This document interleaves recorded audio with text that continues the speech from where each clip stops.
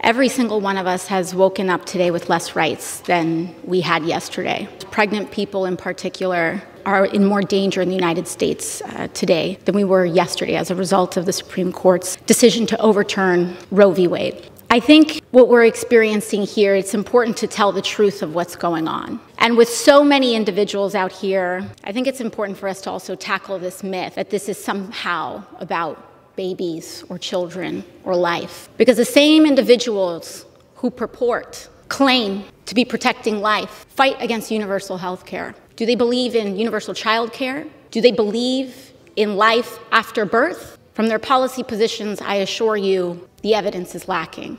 A life that claims to be protecting the lives of children, or rather, a, a party and individuals who claim to protect the lives of children just weeks after over a dozen children died in Texas, now claim to support their life, the lives of the young. Who are we protecting? Who does this protect? No one.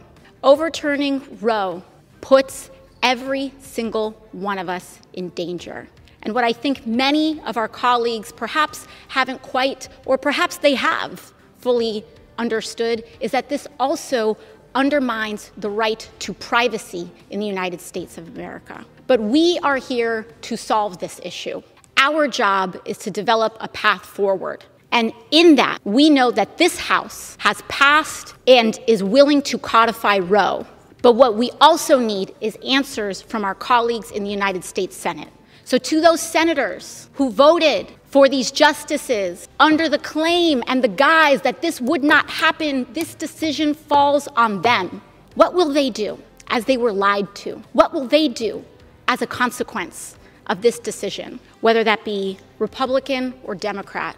But we cannot allow this to go on unanswered. We are talking about a court of, with the majority of justices appointed by a party that has not won a popular presidential election more than once in 30 years, ruling against the majority of Americans. We have a Senate that is controlled by minority rule. And we have a House suffering from the impacts of gerrymandering that amplifies and undermines our democracy. We are in a very dangerous moment, not just for women, not just for LGBT communities, not just for all of us, but we are in a dangerous moment in the world because this is not just about the right to choice. This is about rule of law and democracy and who is a full person in the eyes of the law. But to all of those who are watching today's events unfold